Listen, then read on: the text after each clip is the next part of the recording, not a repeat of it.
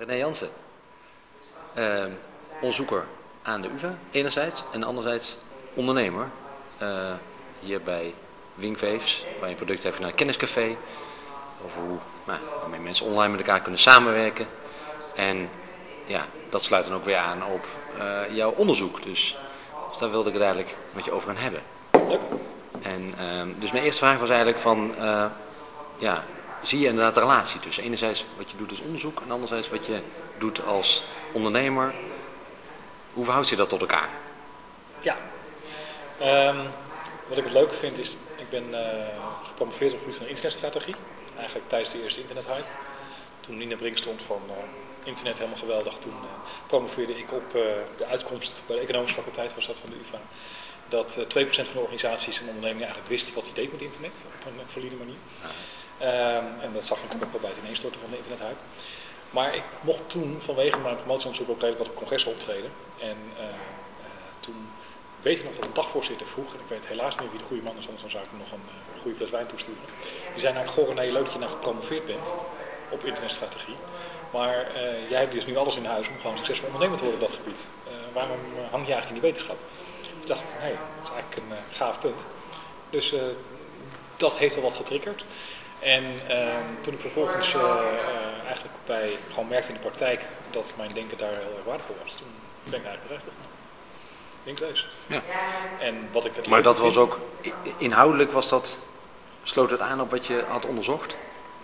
Uh, ja, want je zag eigenlijk in mijn onderzoek al de groei van internet als medium om transacties uit te voeren, het functionele medium, naar veel meer internet als sociaal medium om mensen met elkaar te verbinden.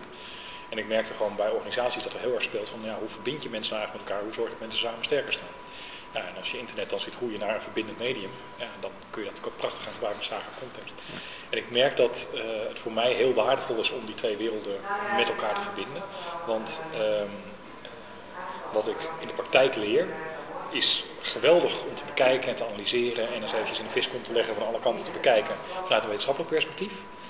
En anderzijds, wat ik wetenschappelijk gewoon lees, wat vaak toch gewoon heel erg modelmatig en abstract en hoge lijn is, vind ik het heel leuk om te bedenken van ja, leuk allemaal, maar oké, okay, nou ben ik gewoon, uh, uh, ik ben een uh, directeur communicatie van een ministerie. Wat betekent dit nou voor mij? Nou, dat vind ik heel mooi, hoe die twee werelden gewoon bij ons eigenlijk continu samenkomen. En ik merk dat sommige klanten vinden het leuk dat wij zo'n link hebben naar wetenschap. Andere klanten hebben er helemaal niks mee. Die zeggen van, ik zoek gewoon een goed product. Oh, wat leuk dat het, uh, dat het een goed product is. En dat is ook prima. En, uh, um, dus je hebt eerst onderzoek gedaan, vervolgens ben je het allemaal in de praktijk ook gaan uittesten. Je slijpt dat verder fijn. Wat zijn, zijn er nou een paar, elke organisatie is natuurlijk anders, maar zijn er stelregels die eruit hebben gehaald? Wat zijn de dingen die je hebt kunnen concluderen eigenlijk? een van de uh, theoretische spreuken die we hebben geleerd in de loop der tijd is de wet van behoud van energie. En dat is eigenlijk een hele simpele regel waaraan je heel veel van het succes van sociale media uh, en heel veel van het falen van sociale media kunt opbouwen. De wet van behoud van energie, heel simpel. Wanneer zijn mensen eigenlijk bereid om mee te doen? Om iets van zichzelf te laten zien, om, om energie in te steken in initiatief. Um, heel simpel. Op het moment dat ze merken dat hun bijdrage ertoe doet. Dus het is niet what's in for me, maar het is als ik je energie insteek, hè, blijft die energie behouden. Gaat die energie niet verloren. Want mensen blijken dus gewoon heel erg gelegd te zijn om energie te steken in dingen die eigenlijk gewoon uh, bij voorbaat verloren zijn. Um, dat is iets wat we heel erg geleerd hebben en hoe je dus ook daarvoor kunt ontwerpen. Want uh, heel veel initiatieven uh, dan wordt er gezegd van nou we gaan, we gaan een pilot doen. Ja, een pilot betekent bij voorbaat eigenlijk dat je zegt van oké, dit is iets tijdelijks, we gaan een beetje uitproberen, proeftuinen, spelen. Ja, wat voor energie steek je daar dan in? Nou, speeltijd die je hebt, hoeveel speeltijd heb je? Over het algemeen niet zoveel. Dus mensen nemen eigenlijk die pilot in serieus. Terwijl als je gewoon zegt van oké, we gaan gewoon, hè, dit komt uit een grotere visie, we hebben een aannemelijk vermoeden dat we als organisatie deze kant op kunnen, of dat we als overheid deze kant op kunnen, of op welk niveau je het ook bekijkt. En uh, we gaan daar op die manier mee aan de slag. Uh, we weten nog niet precies wat we allemaal gaan tegenkomen gaandeweg. Maar dit is wel de droom waar wij allemaal naartoe uh, willen groeien. En nou, help mee. Wat, wat, wat kun jij bijdragen? En hoe kun jij invulling geven in jouw dagelijks werk om die droom waar te maken? En dan krijg je een enorme energie van mensen die kant op. En dat is ook iets wat je ook weer kan verbinden aan je onderzoek, aan, je, aan de antropologische kant, zullen we zeggen? nou ja, dat, dat, gaat volledig over het drijfveren van mensen inderdaad. Dus ja. En uh, oké, dus dat is één ding. Uh, uh, dat, dat, dat zit aan het begin. Van, zet het neer op een zodanige manier dat mensen er energie van krijgen. En dat dat, dat balletje eigenlijk automatisch zelf verder gaat rollen. Um, nog een tweede punt. Tweede leeraspect. Um, oh, dat zou nog kunnen zijn. Dat we niet... Kijken wat leuk is om te vertellen. Ja, wat ik denk dat ik heel aardig vind om te vertellen is... Ik mag, ook drie zeggen hoor. Of vier. Zeggen. Ja, ja, ja. Geen probleem. Zoveel. Ja. Nee, wat, ik, wat, wat ik wel leuk vind om te vertellen is even, uh, en dan kan ik nou ook lekker even vanuit mezelf vertellen, hoe ik zelf in de loop der jaren zie hoe we denken over de rol van IT in hoe wij dingen doen, als organisatie of als overheid. Um, en hoe dat denken zich in de loop der tijd eigenlijk verandert. Op het moment dat ik uh, afstudeerde, dat was uh, begin jaren 90, toen, dat was eigenlijk het tijdperk waarin we dachten in termen van informatiemanagement en automatisering en informatisering. En dat is ook het tijdperk waarin we bedrijven als SAP en zo groot zijn geworden. Toen was de rol van IT eigenlijk heel erg om uh, processen te stroomlijnen. En heel erg vanuit logistiek, heel erg vanuit economisch denken. Optimalisatie, stroomlijnen zijn daar gewoon de termen. Als je kijkt naar de jaren nul, dat is eigenlijk de jaren waarin het web opkwam natuurlijk, als, als echt gewoon groot. En webifisering staat toch wel heel erg vooral voor het, de transparantie die daaruit voortkomt. Dat eigenlijk iedereen alles weet of kan weten en dat je veel minder informatievoorsprong hebt ten opzichte van anderen, want heel veel informatie wordt openbaar. Uh, wordt ook heel veel gebruikt in het denken veel meer over de globalisering. Uh, wat, wat daar speelt, want het maakt steeds meer uit waar je zit. Dus dat heeft natuurlijk in de samenleving en in, in hoe dingen georganiseerd zijn heel veel impact. Want je gaat ketens op een andere manier inrichten. Ketens worden veel meer geoptimaliseerd uh, omdat dingen met elkaar verbonden worden. Um, als je nu kijkt naar de jaren 10, waar we eigenlijk nu middenin zitten, dat is de social media visering. En daar zie je dat het eigenlijk niet per se gaat over het transparant worden, maar dan gaat het vooral over het verbinden van mensen. Iedereen iedereen verbonden. En waar ik vroeger op school heb geleerd dat je in zeven stappen verbonden bent met iedereen op de wereld. Oh, ik ben in zeven stappen verbonden met de president van Amerika.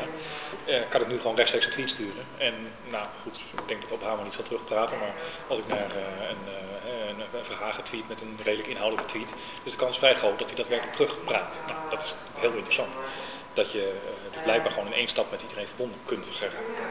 Uh, dus dat is eigenlijk het tijdperk waarin we nu leven. En als je nou kijkt van waar gaat het denk ik naartoe, is uh, het tijdperk wat natuurlijk nog niet echt een naam heeft. Daar zullen we over een jaar of 7, 8 de absolute naam bij hebben. Ik noem het nu maar even het organiseren met dubbel A geschreven. Het is de, uh, de, samenleving waarin niet alleen iedereen met iedereen verbonden is en heel veel transparant is en alle processen gestroomlijnd kunnen zijn, maar het is ook we, we, we, zitten steeds meer in een tijdperk waar alles met elkaar, van elkaar afhankelijk is geworden. Het is eh, gewoon één groot systeem geworden waar alle onderdelen met elkaar verbonden zijn. En daarmee is het een heel complex en heel onvoorstelbaar geheel geworden. Um, en dat betekent een heleboel, zeker voor overheden. Want het betekent dat je niet langer meer uh, een, uh, een, een, beeld kunt hebben. En dat hè, gelukkig is dat denk ik, komt een beetje uit, maar ik zie het in hoe organisaties worden aangestuurd. Zou je kunnen zeggen, die eerste drie tijdperken, hè, tijdens informatiemanagement en tijdens het webiseren, en eigenlijk zelfs nog wel een beetje hoe mensen nu naar social media kijken, gaat het nog steeds heel erg over het denken in economische termen. In stroomlijnen, in uh, de metafoor van het is een machine die bestuurd kan worden. En uh, als je nou kijkt naar waar we nu met die totale verbondenheid naartoe gaan, is het gewoon zo'n dynamisch en complex systeem geworden. Dat kun je dus ook niet meer, dat wil je niet meer als een machine zien. Dat, daarin ga je dus veel meer praten over. Wat is eigenlijk mijn rol als orgaan in dat geheel? He, in, de, in, in, de hele ecologie waar ik dan onderdeel van ben. En um, ik denk dat dat dus ook gewoon voor overheden gewoon de, de, de, denkrichting is om veel meer op die manier te gaan nadenken. En dat, dat, dat, vraagt natuurlijk heel veel uh, verandering. Maar uiteindelijk uh, is dan de eerste vraag natuurlijk van hoe bereik je dan dingen? Want uiteindelijk zitten we natuurlijk ook nog steeds in de situatie dat er een regering is en die heeft een opdracht vanuit de Kamer en die, hè, dat is natuurlijk ook, dat is ook een feit. Hoe, hoe ga je dan zo'n orgaan aansturen als het ware? Ja, ja. Um, Ik weet dat het begrippen zijn uit twee werelden hoor, maar Nou, kijk, zit daar niet de clash? Ik, ik, nee, ik, ik, ik denk dat de clash zit in het eh, blijven denken in de oude termen. Ik denk dus als je meer gaat nadenken over eh, je, je speelt een rol in de dynamiek. En dus dat is de metafoor, en niet meer de metafoor, wij zijn de bestuurders van het systeem. Want eh, als bestuurder van het systeem, die verantwoordelijkheid kun je eigenlijk gewoon helemaal niet meer nemen, want die is onneembaar. Dat is namelijk hetzelfde als proberen het weer te voorspellen. Eh, waarin ook, ik vind het prachtig gewoon als je even denkt in termen van, van, van, van eh, eh, hoe het weer tot stand komt. Die complexiteit die daarin zit, omdat alles met elkaar continu verandert en samenhangt. Dat zie je dus ook nu terug, in, omdat iedereen met iedereen verbonden is in die dynamiek. Ehm, dus ik denk ook dat je daarmee gewoon je rol als overheid op een andere manier kan, eh, wel moet gaan invullen. En hoe je daar stappen in kan zetten. Ehm, ik merk hoe lastig het is voor eh, overheidsorganisaties, mensen die daar werken, ambtenaren. ehm, die zitten toch vast, want zo ben je eigenlijk altijd gewoon opgevoed en opgegroeid. eh, Dat je eh, het bestaan van jouw directie of jouw departement of jouw, eh, ook, gewoon op eh, lokaal of regionaal niveau, organisatie, dat dat, dat, dat het ehm, eh, dat het bestaan van die organisatie eigenlijk een, soort van zekerheid is. De- dat, ehm, je dat je daaruit ook acteert vanuit het bestaan daarvan. Terwijl als je meer gaat kijken naar van wat is eigenlijk je rol, dan kan het wel zijn dat die rol misschien door eh, op een andere manier georganiseerd veel beter ingevuld kan worden. Dus je gaat dan eigenlijk ook niet meer praten van een afstand tussen eh, eh, overheid en, en burger, een afstand tussen overheid en samenleving. Maar je gaat veel meer samen met mensen optrekken om de doelen te bereiken waar we met elkaar voor gekozen hebben in de politieke eh, uitkomsten. Die, eh, en wat jij dan zegt, wat dan natuurlijk in de Tweede Kamer eigenlijk eh, als opdracht wordt gegeven. Ehm, laten we daar dan samen invulling aan geven. En dan hou je dus het politieke systeem hou je overeind, maar dat betekent dat je de overheidsorganisaties eigenlijk continu ter discussie stelt. En dat geldt natuurlijk niet voor alles, want er zijn gewoon een aantal meer beheersmatige dingen die gewoon überhaupt moeten gebeuren. Want de basisdingen die moeten sowieso gebeuren, en dat zal wel zo blijven. Maar heel veel van de eh, mensen die bezig zijn om interventies voor te bereiden, hè, dus veranderingen op gang moeten brengen vanuit beleid, dat gebeurt nu inderdaad heel erg vanuit jouw bestaande organisatie. Nou, dat is het stuk wat je volgens mij vooral moet gaan veranderen. En dat zie je natuurlijk intern in organisaties in wezen ook. Absoluut. Ja. In hoe die werken, hoe die samenwerken. Even, even terug naar je eigen praktijk eh, eh, als, als ondernemer. En je komt bij heel veel organisaties over de vloer. En je, je bent daar bezig om, om dat, nou ja, enerzijds dat systeem eh, neer te zetten. Maar anderzijds ook mensen daarmee te laten werken. En Ja. hoe, hoe zie je eh, daardoor die verandering... Of zie je eigenlijk die verandering ook in die organisaties plaatsvinden dan daardoor? Ja, ja absoluut. Ehm, ik denk dat ehm, in het, als je even de machine als metafoor neemt, hè, eh, daarin zijn mensen radertjes die een voorgedefinieerde taak uitvoeren. En eh, daar zit dus eigenlijk heel weinig vrijheid voor invulling zit daarin. Eh, en dat past eigenlijk heel goed bij dat denken van die eerste drie generaties, vond ik zei van automatisering, procesoptimalisatie, dat soort dingen. Dat is ook in het denken van mensen zijn een radertje in een systeem. Dat vraagt als ondersteunings, technisch ondersteuningssysteem, eh, systemen zoals SAP en, en, logistieke, eh, procesmatige, voorgedefinieerde systemen met standaarden en dus heel weinig vrijheid voor de gebruiker. Op het moment dat je zegt van hé, hey, ik ga veel meer de metafoor, en het is vooral als je op een andere manier gaat kijken, dan eh, zul je dan verandert dat eigenlijk al je wereld. Daar kan ik zo ook nog wat over vertellen, want dat blijkt ook heel aardig uit onderzoek. Ehm, als je, de, orga- als je de, samenleving of jouw organisatie, want het geldt op allebei de niveaus, eigenlijk veel meer als zo'n organisme gaat zien. Als hè, we, we willen daarvoor organiseren, met dubbel A. Ehm, dan, hoe kun je daar dan nou eigenlijk naartoe komen? Hoe kun je die verandering op gang brengen? Dat is ook door de onderliggende systemen te veranderen. Dus door het communicatiesysteem te veranderen, verander je eigenlijk de samenstelling, verander je de organisatie. Want als iedereen met iedereen verbonden is, en ook van elkaar afhankelijk vervolgens daar, daarin is, eh, door daar een systeem voor te bieden, dat verandert eigenlijk de organisatie. Nou, dat even heel concreet. Hè, als je naar een, uh, een, gewoon uh, naar een organisatie kijkt, bijvoorbeeld een energiebedrijf. Het energiebedrijf is in basis heel erg hiërarchisch georganiseerd. Het heeft heel duidelijke processen. Wat is belangrijk voor een energiebedrijf? Dat is continuïteit. Je wil altijd als je het schakelaartje overhaalt het lichter doet. Of als je je gas aansteekt dat je cv'en doet. Zeker in deze tijd belangrijk. en tweede is dat je de veiligheid natuurlijk. Je wil dat uh, er geen explosies zijn en uh, zeker met gas dan geeft dat een redelijke hoop. Elektriciteit trouwens ook. Dus dat zijn eigenlijk jouw twee primaire drijfveren als organisatie. Daar heb je je hele structuren eigenlijk overheen gelegd. Heel erg vanuit het denken van een machine. En wij benoemen allemaal hoe onze medewerkers dan alles moeten doen. En dan zullen er geen fouten optreden. En dan kom jij langs en dan breng je dat systeem naar binnen en dan wordt het allemaal een chaos. En dan wordt het eigenlijk een chaos. Ja. Nee, het enige wat je dan doet is dan zeg je van hé, hey, wat je bijvoorbeeld merkt is dat um, de werkelijkheid is helaas altijd complexer dan dat je vooraf in je regels en je structuren hebt bedacht. En die regels en structuren werken prima voor basisprocessen en werkt voor 70, 80 procent van de situaties prima. Hetgeen wat je eigenlijk onderscheidend maakt als organisatie, hetgeen wat je eigenlijk doet overleven, dat zit hem juist in hoe ga je om met uitzonderingssituaties. Als er iets op je afkomt waar je nog niet over nagedacht had. Een situatie die nieuw is. Dit geldt op niveau van samenleving, dit geldt op niveau van organisatie.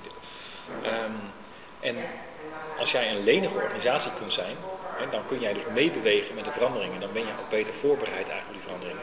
En als jij een machine bent, dan ben je daar waarschijnlijk niet op voorbereid. Want je bent maar geprogrammeerd, een machine is gemaakt om één ding te kunnen. En dat kan je heel erg goed. Dus als je eh, eigenlijk die overstap die je maakt door op een andere manier met elkaar te communiceren, is vooral dat je leniger wordt. En even terug naar het energiebedrijf. Dat betekent dat je uh, mensen, alle mensen in je organisatie, van hoog tot laag, de gelegenheid geeft en uitnodigt en vooral zelfs stimuleert om mee te gaan denken vanuit hun dagelijks werk waar zij tegenaan lopen. En dan ga je mensen niet als een radertje zien, dan ga je ze veel meer zien als iemand die uh, een hele rijkheid aan capaciteiten heeft en mogelijkheden heeft, die hij bereid is om in te zetten om de droom van de organisatie of de politieke droom die op dit moment heerst, om die tot leven te wekken en daar zijn bijdrage aan te leveren. En dan ga je mensen op een heel andere manier sturen. Dan krijg je veel betrokkener mensen met elkaar. En nou, uit alle onderzoeken weten we ondertussen dat betrokkenheid is altijd goed. Hè? Want betrokkenheid leidt tot minder ziekteverzuim in de organisatie, leidt tot lager verloop, leidt tot uh, uh, meer productiviteit. Nou, uh, alle factoren waarop je kan meten zijn gewoon, worden beter op het moment dat je gewoon betrokken medewerkers hebt. Hm. En ik uh, ga er een beetje vanuit dat het op niveau van samenleving eigenlijk ook zo is. Hè. Als je betrokken mensen hebt, dan is dat ook gewoon goed voor de samenleving. Um, en dat is eigenlijk wat je kunt bereiken door zo'n nieuwe communicatieomgeving neer te zetten. Nou, binnen een organisatie wordt het dan Enterprise Social Software genoemd. En um, eigenlijk jouw uh, verhaal aan het begin van, van hoe uh, verbindt zich wetenschap en praktijk, even specifiek bij mij. Ehm, vanuit het denken, zich ontwikkelende denken in wetenschap, maar ook in bredere zin. En zie je dus die groei van de machineomgeving naar veel meer een organische omgeving. En wat ik in de praktijk probeer te doen, is organisaties te helpen om gebruik maken van de software die wij daar dan speciaal voor ontwikkeld hebben, het Linkwees Kenniscafé, om ook um, zo'n lenige organisatie te kunnen worden. En misschien op samenlevingsniveau hè, een lenigere, organisatie, uh, lenigere samenleving te worden. Ja. Dat, en, en dat zie je nu eens uh, gebeuren, hè, zeg je? Ja, ja, bij, de, bij, de, bij, bij uh, jouw, uh, jouw patiënten, zullen we zeggen. En patiënten. Die zijn leniger worden. Ja. En, um, maar wat ik me dan afvraag, um, is er ook van, van dat, dat is nogal een verandering voor heel veel medewerkers. Absoluut. En managers. Ja. Zit er een opleidingstraject in vast? wat, wat moeten ze dan leren? Het is, um, uh, dit betekent inderdaad verandering en dat vind ik heel grappig. Uh, voor mij is dit ook een beetje het volwassen worden van het denken over sociale media. Sociale media uh, leek heel erg te gaan over vrijheid, blijheid en iedereen met iedereen verbonden en wat wordt de wereld dan mooi. Maar we weten, als je dat even tegen het anarchisme model aanlegt, dat, dat uiteindelijk is dat toch niet helemaal optimaal. Het is beter als het toch een bindende factor is en sturing uiteindelijk een bepaalde kant op is. Een rol voor management en een rol voor leiding geven. Um, ik zie binnen organisaties dat uh, het veranderen van die communicatieinfrastructuur betekent dat er anders, uh, je brengt daarmee verandering op gang. Alleen gaat die verandering de kant op wat jij als management ook eigenlijk wil met jouw organisatie. En of dat dan management is een commerciële organisatie of een overheidsorganisatie, maakt er eigenlijk heel weinig uit. Uh, je hebt een bepaalde uh, richting waar je eigenlijk uit wilt. Um, en het mooie van Enterprise Software nu vind ik dat het jou ook helpt om, die, om het gesprek aan te gaan over die richting. Ik gebruik vaak als voorbeeld uh, wat we hier kunnen leren van goede doelenorganisaties die heel veel met vrijwilligers werken. Uh, Wereld Natuurfonds, een geweldige organisatie. Ik mag één keer in zoveel tijd al een aantal jaar met hen meedenken over wat ze doen op het gebied van sociale media. Um, en wat ik heel erg daar geleerd heb, wat ik heel mooi vind hoe zij dat doen, is zij hebben met heel veel vrijwilligers te maken. En hoe richt je nou vrijwilligers de kant op hè, van uh, hoe, hoe, hoe, gebruik je hun energie, uh, dat we er allemaal gewoon uh, beter van worden. En dat uh, mechanisme wat zij daar inzetten is, ze schetsen een droom. En die droom, Wereld Natuurfonds, is dan geef de aarde door. En vervolgens vraag je, wat kun jij doen om de aarde door te geven? Dat is een heel erg triggerende vraag. Want dan ga je naar voor jezelf, van ja, geef de aarde door. Ja, ik heb ook kinderen thuis. Ja, ik, ik wil inderdaad graag dat die ook nog een aarde hebben. En dat kun je ondersteunen met hele mooie spotjes en, en campagnes natuurlijk, van het beeld van geef de aarde door. Maar die vertaalslag van die droom naar wat kun jij doen om, dat geldt eigenlijk gewoon binnen organisatie ook. Van, uh, en we hebben dat bij knetterhard commerciële organisaties ook gewoon gedaan. He, echt die organisaties waar elke cent telt. Waar het management zei van ja, maar laten we nou eens toch anders gaan kijken. Laten we nou niet meer alles optimaliseren in termen van processen en efficiëntie. Maar laten we nou eens meer vanuit een droom gaan werken. En dan heb je dus inderdaad managers nodig die dat durven. Die zeggen van oké, wat zijn nou eigenlijk de waarden, wat is de droom van onze organisatie? En we gaan alle medewerkers vragen, wat kun jij nou eigenlijk doen om die waar te maken? En laten we daarover in gesprek gaan op een enterprise social software omgeving. Um, en dan ontstaat er dus opeens een gesprek tussen hoog en laag en links en rechts. En iedereen gaat praten over uh, wat kan ik doen om onze organisatie eigenlijk die kant op te helpen. En dat heeft enorm veel impact als je het over betrokken medewerkers. Is dat um, de, uh, mensen worden betrokken bij de droom. Ze kunnen het relateren aan hun dagelijks werk, gaan daarover gesprekken. Wet van behoud van energie, waar ik het eerder over had. op het moment dat jij merkt dat jouw ideeën en bijdragers serieus worden genomen, er te doen in het gesprek, in het groeien van de organisatie, dan krijg jij een verbinding die zo waardevol is dat mensen gewoon veel meer uh, helpen om, de organisatie ook uh, die kant op te laten gaan. Nou, dat is een heel andere manier van denken en werken en organiseren dan het traditionele machineverhaal. Nu zijn er ook managers die dan zeggen, ja, dan zit iedereen met elkaar aan praten en allemaal leuke nieuwe dingen aan het verzinnen, maar wie doet dan het werk ondertussen? Ja, ja. Nee, dat, natuurlijk wordt dat gezegd. en de vraag is dus, um, is dit niet eigenlijk onderdeel van het werk? Maak je dit niet onderdeel van het werk? En zoals we dat in sociale media binnen organisaties in de beginperiode, een paar jaar geleden, uh, zeg maar even 2000, uh, 2006, 2007, 2008 misschien nog, en ging heel erg over, over innovatie. En dat je, dus, uh, dat je ideeën niet meer alleen maar bij een innovatieafdeling neerlegt, maar dat je eigenlijk iedereen vraagt van heb jij niet ideeën om te innoveren? Nou, dat is eigenlijk zo'n zo, zo, eerste stapje dat je zegt van hé, hey, eigenlijk is misschien het nadenken over hoe dingen beter kunnen, is niet iets meer wat bij een heel specifieke afdeling ligt, maar wat eigenlijk bij iedereen ligt. En de rol van die afdeling verandert dan in het ondersteunen van het gesprek over die innovaties. Uh, misschien helpen in de besluitvorming van oké, welke van deze ideeën zijn nou inderdaad gewoon, goed voor ons en vanuit daaruit doorgroeien. Nou, dat mechanisme wat daarvoor innovatie geldt, dat ga je eigenlijk nu over je hele uh, organisatie ga je dat, uh, ga je dat toepassen. En, uh, dat is het organische ook immers. Dat is nou, absoluut het organische. En ik denk dat dan, uh, want het, het, het gewone werk, zoals dat dan zo mooi heet, ja, natuurlijk, dat gaat gewoon door. Alleen mensen zullen dat, uh, op, als ze daar meer ook vrijheid hebben om dat zelf invulling te geven en te helpen verbeteren, plus zich verbondener voelen met het geheel, word je als organisatie gewoon veel leniger en, en, je, en, en daarmee ook efficiënter. Is dat nou iets van... Uh, je, gaat, je, gaat, eigenlijk dus, uh, wat je traditioneel... Kijk, de, het, het, grote nadeel van organiseren volgens het machinemodel... is dat je altijd alles met, met harkjes moet doen. Je moet altijd boodschappen van boven naar beneden en vertalen en uitspreiden, verdeel en heers. Um, prachtig voorbeeld in deze vind ik even het verschil tussen Apple en Sony. En je, ik, bedoel, kan op dit moment natuurlijk niet praten zonder voorbeeld van Apple daar even ergens te gebruiken. Dus bij deze, sorry David. Um, maar wat ik wel heel mooi vind is ehm, eh, eigenlijk voordat ehm, de iPod en iTunes er waren. Je op dat moment had gekeken naar de organisatie van Apple en Sony. Sony had zijn Walkman, uh, heeft dus een enorme uh, installed base voor audiospelers op persoonlijk niveau. Heeft een eigen mediabedrijf wat, wat heel veel titels uitgeeft. Dat zou toch de ideale partij moeten zijn om, om stappen te zetten. Het integreren is dat Apple heeft die iPod en iTunes bedacht. En daarmee, nou, we weten allemaal wat dat heeft opgeleverd. Een van de dingen die daar voor een belangrijk deel ook in speelt, is dat Sony heeft zo'n organisatie opgeorganiseerd volgens een verdeel- en heersmechanisme. Dat is dus heel erg, ik moet eigenlijk de hand andersom doen. En dit, dit is Sony. Sony is heel erg die machine. En waarin gezegd is, oké, jij bent afdeling uh, personal audio en jij hebt je eigen profit and loss. En jij bent afdeling met media en jij hebt je eigen profit and loss.